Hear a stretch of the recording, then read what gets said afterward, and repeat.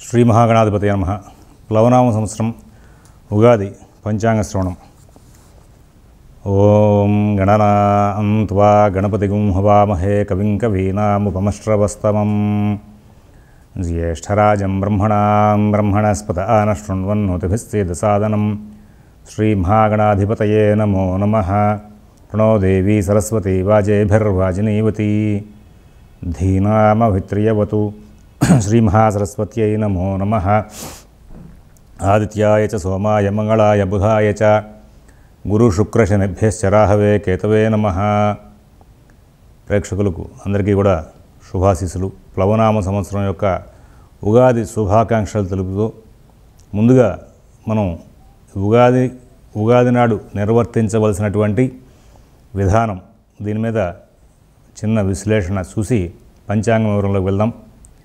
పంచాంగం అంటే తిథి వారము నక్షత్రము యోగము కరణము అనేటువంటి ఐదు అంగములు.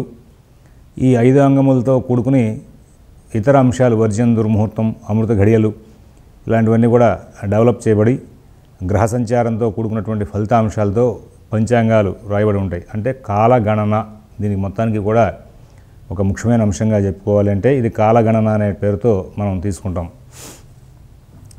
ఈ కాలగణన చేసేటప్పుడు కాలపురుషుడు ఎవరు అంటే శ్రీమన్నారాయణుడు. మనం ప్రతి పండగకి కూడా ఏదో ఒక దేవతా ఆరాధన చేయడం అనేది ఒక అలవాటుగా నడుస్తూ ఉంటుంది. రామనవమి వస్తే శ్రీరామచంద్రమూర్తిని అర్చిస్తాం నృసింహ జయంతి వస్తే నృసింహమూర్తిని అర్చిస్తాం అలాగే కృష్ణ జయంతి వస్తే కృష్ణమూర్తిని అర్చిస్తాం. మరి ఉగాది నాడు ఏ దేవుని అర్చించాలి? అంటే యథావిధిగా ప్రాతకాలంలో అందరూ నిద్రలేచి ఇల్లు వాకిళ్ళు శుభ్రం చేసుకుని బూజులు దురుపుకొని ఇల్లు వాకిళ్ళు కడుక్కుని ముగ్గులు వేసి గుమ్మాలకు తోరణాలు కట్టుకుని సూర్యోదయ పూర్వం అభ్యంగన స్నానం చేసి అభ్యంగన స్నానం అయిన తర్వాత మరి నిత్యకృత్యాల్లో రోజువారీ పూజా కార్యక్రమాలు ఉంటాయి దీపారాధన చేసుకునేవన్నీ కూడా. వాటిని ప్రారంభం చేసి ఆ తదుపరి మనం చేసే పని ఏమిటంటే భగవద్ అనుగ్రహం కోసం అర్చనాక్రమం ఏ పండుగ వచ్చినా సరే. ఇక్కడ వరకు అందరికీ కూడా కామన్గానే అన్ని పండుగలతోనూ ఉగాది కూడా అదే రీతిగా నిర్వర్తించబడుతుంది. ఉగాది నాడు దేవతా మందిరంలో పంచాంగం పెట్టుకుని ఆ పంచాంగం మీద ఈ దేవతామూర్తుల యొక్క చిత్రపటం ఉన్నటువంటి పంచాంగం మాత్రమే పెట్టుకోండి. మళ్ళీ మనుషుల యొక్క బొమ్మలు ఉన్నటువంటి పెట్టుకుని వాటిని పూజ చేస్తే మనుషులు బతికుండగా మనం ఆ ఫోటోలకి మనం పూజ చేసే అలవాటు లేదు కదా మనకి. అందువల్ల పంచాంగాల మీద వ్యక్తి బొమ్మ కనుక ఉంటే దానికి అర్చన చేయొద్దు. లేకుండా ఉన్న బొమ్మ పంచాంగాలకి అర్చన చేసుకోవడం. అలాగే ఆ పంచాంగానికి ఆయనే కాలపురుషుడుగా మరి సృష్టి స్థితి లయల్ని నడపడానికి కోసం కదా బ్రహ్మ విష్ణు మహేశ్వరులు వచ్చారు. ఈ యొక్క యావత్ ప్రపంచమంతా కూడా ఇవాళ నడుస్తుంది అంటే శ్రీమన్నారాయణుడు యొక్క అనుగ్రహం అని చెప్పి మన భారతీయ మతం యొక్క అభిప్రాయం. కాబట్టి ఆ శ్రీమన్నారాయణుడే కాలపురుషుడుగా భావం చేసి ఆయన గ్రహాలని తన డిప్యూటీస్గా పెట్టుకుని పరిపాలన చేస్తూ ఉంటాడు. పంచభూతాలు అష్టదిక్పాలకులు నవగ్రహాలు ఇవి ఆయనకి ఈ పరిపాలనలో సహకారం చేస్తూ ఉంటాయి. అందువలన ఈ యొక్క కాలపురుషుడుగా శ్రీమన్నారాయణుడినే చక్కగా అర్చన చేసుకోవడం పంచాంగానికి పూజ రాసి పసుపు కుంకుమ పెట్టి దానికి అర్చన చేయడం. చండీ సప్తశతి పారాయణ చేస్తున్నారు. చండీ పుస్తకంలోనే చండీ అమ్మవారిని చూస్తారు అక్కడ ఆ భావన. సుందరకాండ పారాయణ చేస్తూ ఉంటారు. సుందరకాండలోనే ఆ పుస్తకంలోనే ఆ ఆంజనేయ స్వామి వారిని సీతారామలక్ష్మణ సీతారామకృష్ణ భర్త శత్రుఘ్న సమేతంగా చూసి అర్చన చేసుకున్న తర్వాత పారాయణ చేస్తారు. అదే రీతిగా ఉగాది రాబోయే మూడు వందల అరవై ఐదు రోజుల యొక్క తిథివార నక్షత్ర యోగకరణాల యొక్క దర్పణం అది. అందువల్ల దాన్ని మార్గదర్శినిగా భావించి కాల పురుషుడిగా భావించి ఆ శ్రీమన్నారాయణుడిని అందులోనే చూసుకుని పంచాంగంలోనే ఆ పంచాంగానికి విశ్వం విష్ణుర్వషట్కారో భూతభవ్య భవత్ ప్రభు భూతకృద్భూతభృద్భావో భూతాత్మా భూతభావన ఆ విష్ణువు యొక్క సహస్రనామంతో అర్చన చేయడం. విష్ణు అర్చన చేస్తే పక్కనే ప్రకృతి స్వరూపిణి జగన్మాత ఆ లక్ష్మీ అష్టోత్తరం తప్పనిసరిగా చెప్పాలి. కారణం ఏంటంటే సృష్టి మొత్తం అంతా కూడా సుభిక్షంగా ఉండాలి కాబట్టి. పండగ చేసుకుంటున్నామంటే ఆ శ్రీమన్నారాయణుడు శ్రీమ శ్రీ మహాలక్ష్మి యొక్క అనుగ్రహం ఉంటేనే మనకి రాబోయే కాలం అంతా కూడా బాగా నడుస్తుందని మన భావన. అందువల్ల ప్రకృతిం వికృతిం విద్యాం సర్వభూతహితప్రదాం. శ్రద్ధాం విభూతిం సురభిం నమామి పరమాత్మికాం అనే అష్టోత్తరంతో అర్చన చేయడం. దుర్గామాతను కూడా అర్చన చేయడం అనేది మనకు ఒక ఆచారం నడుస్తోంది. ఉగాది నాడే వసంత నవరాత్రి అనేది ప్రారంభమవుతుంది. మనకు శరణ్ నవరాత్రులు వసంత నవరాత్రులు అనేది సుప్రసిద్ధంగా ఉన్నాయి. ఇంకా ఉన్నాయి వేరే నవరాత్రులు కూడా. మరి ఈ వసంత నవరాత్రులు కూడా మన వాళ్ళు నిత్యంలో ఆచరించడం అనేది మానేశారు. వసంత నవరాత్రులు చాలా విశేషమైనటువంటి వ్రతం.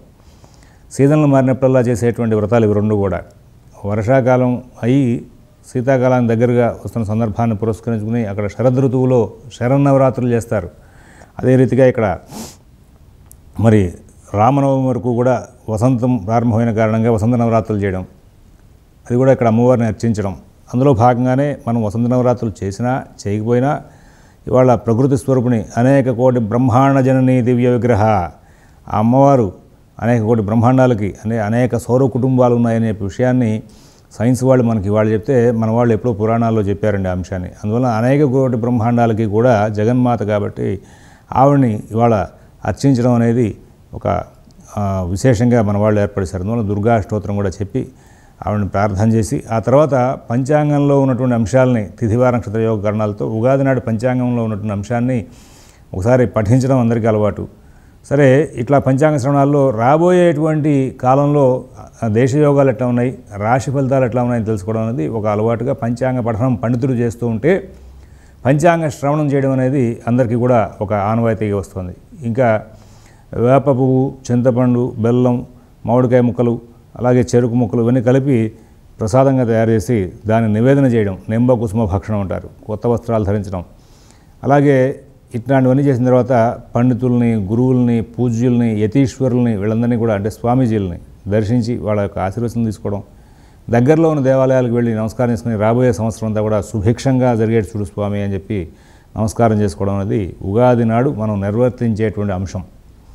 ఈ విధంగా ఉగాది పండుగ నాడు పంచాంగ శ్రవణానికి ఒక ప్రధానమైనటువంటి భూమిక ఎందుకు ఏర్పాటు చేశారు అంటే పంచాంగ శ్రవణం కనుక చేస్తే పంచాంగ పఠనం చేస్తున్నటువంటి పండితుడి గారు కూర్చుని రాబోయే సంవత్సరంలో మన యొక్క గ్రహచారం ఎలా ఉందో తెలుసుకుని ఇక్కడ గోచార ఫలితాలని చెప్తూ ఉంటారు.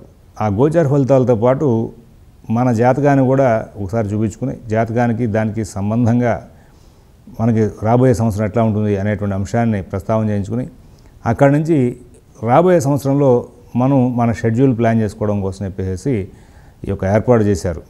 అయితే పంచాంగం అంటే తిథివార నక్షత్ర యోగ గణాలు కదా అంటే ప్రతిరోజు కూడా పూజా కార్యక్రమాలు తిథివార నక్షత్ర యోగ గణాలు చెప్పాలి. సంకల్పం చెప్తాం. మమ ఉపాత్త దురిత క్షయ ద్వారా శ్రీ పరమేశ్వరముద్దిశ్య శ్రీ పరమేశ్వర ప్రీత్యర్థం అంటూ అక్కడ చాంద్రమాన ఆ, ప్లవనామహంసరే ఉత్తరాయణే వసంతృతౌ చైత్రమాసే శుక్లపక్షే ప్రతిపతి తిథౌ అని సంకల్పం చెప్పి పూజా కార్యక్రమం ప్రారంభం చేస్తాం. అందువలన ప్రతివారు కూడా పంచాంగం వాడుకోవాలి కాబట్టి పూర్వం పంచాంగకర్తలు ఏం చేసేవాడంటే గ్రామంలో ఒక చోట చేరి ఆ రాబోయే సంవత్సరం అంతా కూడా తిథివార చెప్తూ ఉండేవాళ్ళు వీళ్ళు రాసుకుని వాడుకుంటూ ఉండేవాళ్ళు పంచాంగాన్ని. ఆ విధంగా పంచాంగాన్ని వాడారు. ఈ నేపథ్యంలో తిథివార నక్షత్ర యోగకరణాలని చెప్పడం మూలంగా ఏమిటి లాభం అంటే తిథేశ్చ శ్రియమాప్నోతి వారాదాయుష్యవర్ధనం నక్షత్రాద్ధరతే పాపం యోగద్రోగ నివారణం కరణం కార్యసిద్ధిస్తూ అని చెప్పేసి ఈ పంచాంగం అక్కడ సంకల్పంలో చెప్పడం మూలంగా వచ్చే ఫలితాంశాల మీద చిన్న శ్లోకాన్ని ఉదాహరణ చెప్పుకుంటూ వచ్చారు. ఇక ఈ సంవత్సరం మనకి ఉగాది మంగళవారం నాడు వచ్చింది.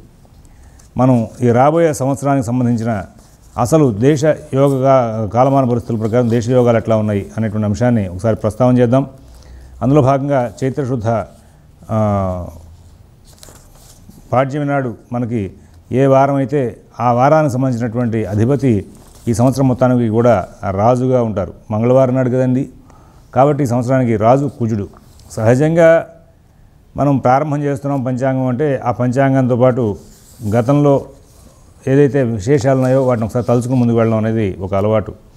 అందులో భాగంగా కలియుగ శతాబ్దములు ఐదు వేల నూట ఇరవై రెండు శాలివాహన శకాబ్దములు పంతొమ్మిది వందల నలభై మూడు ఇంగ్లీషు సంవత్సరం రెండు వేల ఇరవై ఒకటి ఇరవై రెండు సౌర సంవత్సరం పద్నాలుగు వందల పదిహేను పద్నాలుగు వందల పదహారు విక్రమార్క శతాబ్దములు రెండు వేల డెబ్భై ఏడు అలాగే మరి భారతదేశ స్వతంత్రాబ్దములు డెబ్భై నాలుగు అలాగే ఆదిశంకరాచార్య అవతారాబ్దములు రెండు వేల తొంభై రెండు రామానుజాచార్య అవతారాబ్దములు ఒక వెయ్యి నాలుగు మధ్వాచార్య అవతారాబ్దములు తొమ్మిది వందల ఏడు ప్రభవాది గతాబ్దములు ముప్పై నాలుగు.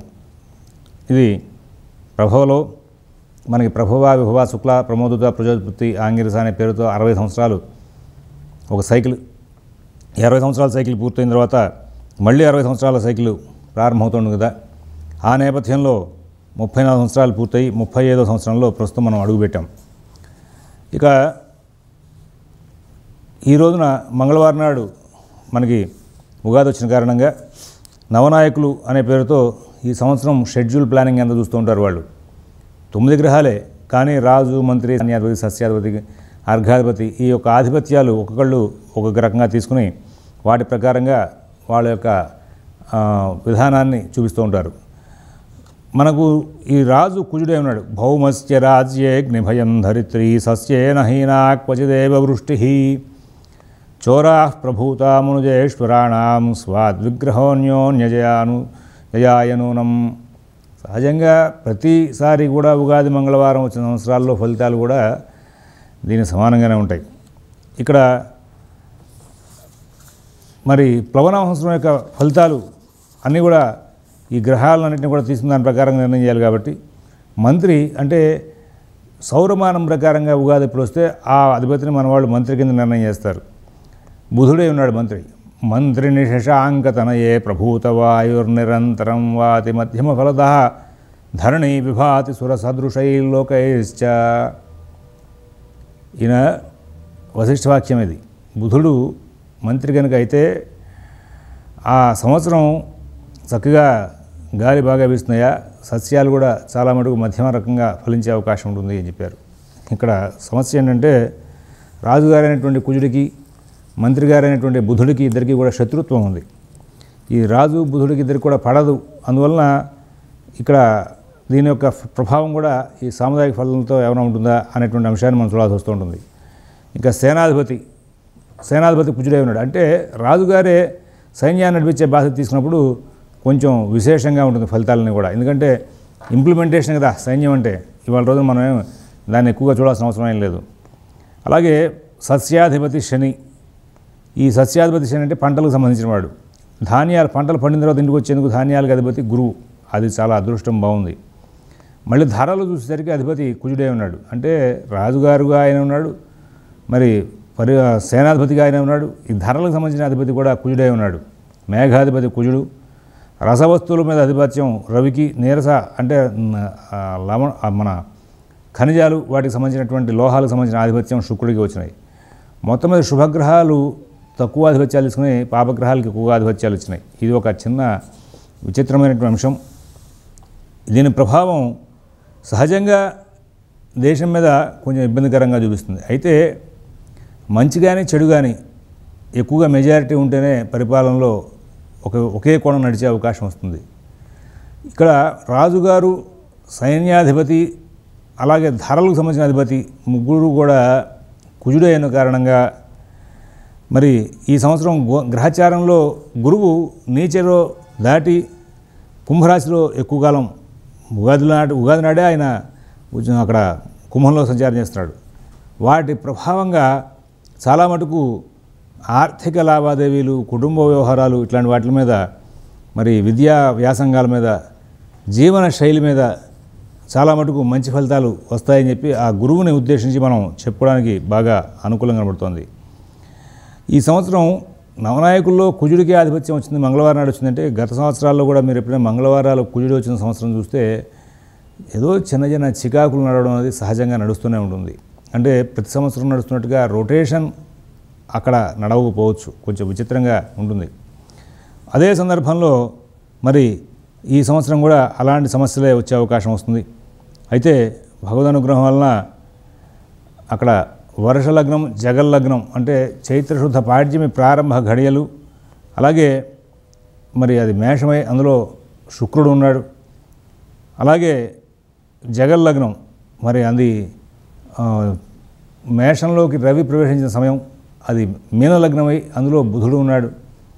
శుభగ్రహాల వీక్షణ బాగా ఉండడం గురువు యొక్క సంచారం బాగుండడం వీటన్నిటిని కూడా దృష్టిలో పెట్టుకుంటే పాపగ్రహాలకు సంబంధం ఈ వర్షలగ్న జగల్లగ్నాలు లేని కారణంగా గత సంవత్సరం కంటే కూడా మెరుగైనటువంటి ఆర్థిక సదుపాయాలు ఉండే అవకాశం ఉంది అని చెప్పేసి కనబడుతోంది. అయితే ఈ సంవత్సరం విదేశాలు వెళ్ళాలి అనేటువంటి కోరుకున్న వాళ్ళకి సులభమైనటువంటి మార్గాలు త్వరగా అందే అవకాశం వస్తుంది. ఇది అక్కడ ట్రంప్ గారు వెళ్ళిపోయారు బైడెన్ గారు వచ్చారు కాబట్టి వీళ్ళు పంచాంగంలో తెలివిగా రాశారయ్యా అనుకోవద్దు. అక్కడ ఎలక్షన్లకి ముందే మా పంచాంగాలు విడుదలైపోయినాయి. అప్పటికే మేము ఇందులో రాసేసి ఈ యొక్క ఫలితాలు రాసాం అలాగే మరి వెండి రాగి బంగారం నూలు దూది వీటి యొక్క ధరలు బాగా పెరుగుతూ ఉంటాయి. మరి రైతులు ఈ సంవత్సరం అంతా కూడా కష్టపడి పంటలు బాగా పండించే అవకాశం వస్తుంది. పంటలు ఇంటికి తెచ్చుకునే ప్రయత్నంలో భాగంగా వర్షపాతం అనేది కొంచెం ఇబ్బంది పెట్టే అవకాశం వస్తుంది. వలన కొంచెం ముందు జాగ్రత్త చర్యలు తీసుకుని వాళ్ళు జాగ్రత్తలు పడాల్సిన అవసరం ఉంటుంది. అలాగే తగు జాగ్రత్తలతో వాతావరణ శాఖతో ఎప్పటికప్పుడు సంప్రదింపుగా కనుక ముందుకు వెళ్తే రైతులకు మంచి ఫలితాలు వచ్చే అవకాశం ఉంటుంది. అలాగే నీటి సమృద్ధి వర్ష సమృద్ధి ఇవి రెండు కూడా సంవత్సరం బాగానే కనబడుతున్నాయి. ఈ సంవత్సరం పశుపాలకుడు గోష్ఠాగార ప్రాపకుడు గోష్ఠ బహిష్కర్త యముడై ఉన్నారు. అందువలన పాడి పరిశ్రమ కొంచెం ఇబ్బందికరం అయ్యే అవకాశం ఉంది. పాడి పరిశ్రమ ద్వారా ప్రజలు కూడా కొంచెం ధరలు పెరిగినటువంటి ఆ యొక్క పాడి పరిశ్రమ ప్రభావం చేత కొంచెం ఇబ్బంది పడే అవకాశం వస్తుంది. అలాగే పురుగు మందులు మేతలు ఎరువుల విషయంలో జాగ్రత్త పడాలి. మకరంలో శని సంచారం చేయడం అలాగే మకరంలో శని సంచారం చేస్తుండగా శ్రవణ నక్షత్రంలో ఎక్కువ కాలం శని సంచారం చేస్తున్న సందర్భంగా దాని యొక్క రిజల్ట్స్ మనకి పంచాంగ గణిత విధానాల్లో చెప్పిన పాటలు ఏమిటంటే ఏదైనా సాంప్రదాయబద్ధమైనటువంటి జీవన శైలిలో ఉన్న వాళ్ళకి ఇబ్బందికరమైనటువంటి వాతావరణం వస్తుంది అనేటువంటి అంశాన్ని తెలియజేశారు. కాబట్టి కొంచెం ఈ ఏదైనా మఠాలు అలాగే సాంప్రదాయ విద్యా గురుకులాలు అలాగే మరి దేవాలయాలు ఇట్లాంటి వాటిల్లో కొంచెం జాగ్రత్తలు తీసుకోవాల్సిన అవసరం ఉంటుంది. ఎండాకాలంలో ఎండలు అధికంగా ఉంటాయి. అలాగే వర్షాకాలంలో కూడా వర్షాలు బాగా పడే అవకాశం ఉంది. శని గురువులు మకరంలో కలిసినంతకాలం సెప్టెంబర్ పద్నాలుగు దగ్గర నుంచి నవంబర్ ఇరవై వరకు కొంత ఆర్థిక ఇబ్బందులు ఉండే అవకాశం ఉంది దేశం మొత్తంలో కూడా. మరి ఆ సమయంలో కలహాలు కూడా బాగా పెరిగే అవకాశాలు కనబడుతుంది. అంతేకాకుండా ఈ సంవత్సరం తరచుగా చాతుర్గ్రహ కూటమి ఏర్పడడం రాహుగతుల మధ్యలో గ్రహాలు ఉండడం ఎక్కువగా. మరి రాహురంగా యత్ర మిథుసప్తమగో స్వదేశ పీడా దుర్భిక్షం మహార్ఘం చాన్నవస్త్రకం. దేశపీడ జనపీడ దుర్భిక్షాన్ని కలిగించేటువంటి ఈ రాహు కుజుల యొక్క కలయిక తరచుగా రావడం వీటి మూలంగా కొంచెం ఇబ్బందులు వచ్చే అవకాశం వస్తుంది. రోహిణి సంచారంలో ఉన్నటువంటి ప్రభావంగా రాహు యొక్క ప్రభావంగా కాశ్మీర సంబంధమైనటువంటి అల్లర్లు కాశ్మీర్ దేశం సంబంధించిన అల్లర్లు అలాగే ఉత్తరప్రదేశ్ విదర్భ వంటి ప్రాంతాల్లో కూడా కొన్ని సమస్యలు రాగలవు. ఈ సంవత్సరం క్రీడారంగం విద్యారంగం వైద్య రంగంలో మొత్తానికి సమస్యలు ఎట్లా వచ్చినా వాటిని సరిచేసుకుని మళ్ళీ ముందుకు వెళ్ళి మంచి జీవితాన్ని గడిపే అవకాశం వస్తుంది. వడ్డీ వ్యాపారం చేసే వాళ్ళకి ఫైనాన్స్ వ్యాపారులకి చిట్స్ వ్యాపారం చేసే వాళ్ళకి అనుకూలం తక్కువగా ఉంది ఈ సంవత్సరం అంతా కూడా. అలాగే అన్ని రకాల పరిపాలనా విభాగాల్లో మరియు అన్ని రకాలైనటువంటి రాష్ట్ర ప్రభుత్వాలకు ఈ సంవత్సరం కేంద్ర ప్రభుత్వం యొక్క తీరు సఖ్యతని తగ్గించే అవకాశం కనబడుతుంది. పరిశోధనా రంగాలు అన్ని అన్ని విషయాల్లోనూ పరిశోధనా రంగాల్లో బాగా అనుకూల స్థితి ఏర్పడుతుంది. పరిశోధనలు బాగా జరుగుతూ ఉంటాయి. అలాగే వ్యాపారులు కొంచెం జాగ్రత్తలు అధికంగా పాటిస్తే వాళ్ళు సమస్యలు లేకుండా నష్టాలు లేకుండా వ్యాపారాల్లో లాభాలు పొందే అవకాశం వస్తుంది. విద్యా విధానం బాగుపడే అవకాశం ఉంది. బ్యాంకింగ్ రంగం ఇబ్బందులకు బాగా దగ్గరయ్యే అవకాశం వస్తుంది. అలాగే మరి విదేశీ వ్యవహారాలు బాగుంటాయి. షేర్ వ్యాపారం చాలా విచిత్రంగా బాగా తరచుగా పెరగడం బాగా తరచుగా తగ్గడం జరుగుతుంది. ఈ నేపథ్యంలో కొంచెం దూకుడుతనంగా ఉన్న వాళ్ళు ఇబ్బందులు పడే లక్షణాలు కూడా ఉంటూ ఉంటాయి. ఈ సంవత్సరం న్యాయశాఖ పనితీరు బాగుంటుంది. అలాగే గనులు శాఖ చాలా బాగా పనిచేస్తుంది. సముద్ర ఉత్పత్తులు పర్వత ఉత్పత్తులు పెరుగుతాయి. ప్రజలు ధనధాన్యాదులు నిల్వ చేసుకోవడం పొదుపుగా వాడుకోవడం అంటే నేర్చుకోవాలి.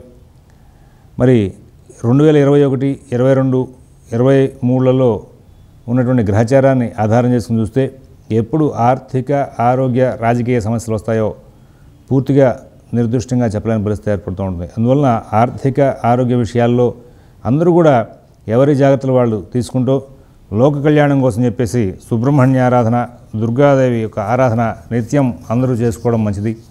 లోకా సమస్త సుఖినో అనేటువంటి నానుడిని ఆధారంగా అందరూ కూడా నిత్యం పూజా కార్యక్రమాల్లో లోకం బాగుండాలని చెప్పి కోరుకోవడం కోసం చెప్పి ప్రయత్నాలు చేస్తే మంచిది. అలాగే ఈ సంవత్సరం సంక్రాంతి పురుషుడు మందాగ్ని నామధేయం వ్యాఘ్రవాహనం. ఆయన యొక్క సంచార ప్రభావం కూడా ఈ సంవత్సరం బాగా అనుకూలంగానే ఉంది. మొత్తం మీద గత సంవత్సరంలో జరిగినటువంటి అనుభూతుల కంటే కూడా ఈ రాబోయే సంవత్సరంలో చాలా మంచి ఫలితాలే వచ్చే విధంగా మనకి గ్రహచారం కనబడుతోంది. అలాగే ఫిబ్రవరి పద్నాలుగు రెండు వేల ఇరవై ఒకటి నుంచి ఏప్రిల్ మూడు రెండు వేల ఇరవై ఒకటి వరకు శుక్రమూఢమి ఉంది. మరి అది ప- చైత్ర బహుళ చవితి వరకు కూడా ఉంటుంది. అలాగే శార్వరి నామంసంలో ప్రారంభమైన శుక్రముడు చైత్రమాసం దాకా నడుస్తోంది. జనవరి మూడో తేదీ నుండి ఫిబ్ జనవరి పదిహేను తేదీ వరకు రెండు వేల ఇరవై రెండులో శుక్రమూఢం ఉంది. అలాగే ఫిబ్రవరి ఇరవై ఒకటి దగ్గర నుంచి పంతొమ్మిది మార్చి వరకు కూడా గురుమూఢం ఉంది. ఈ సంవత్సరం ఇంచుమించుగా చాలా కాలం మంచి ముహూర్తాల యొక్క సీజన్ నడుస్తోంది. అయితే ముహూర్తాలు ప్రతి నెలలోనూ ఉన్నాయి కొంచెం తక్కువగా ఉన్నాయి. అంతేగాని ఏ నెలలోనూ కూడా ఇబ్బందులు లేకుండా ముహూర్తాలు నడుపుకునేందుకు వీలుగా అవకాశం నడుస్తూ ఉంది ఇక మనం ఈ సంవత్సరం మొత్తం మీద అన్ని రాసుల వాళ్ళకి కూడా ఫలితాంశాలు ఎలా ఉంటాయి అనే అంశాన్ని చూద్దాం.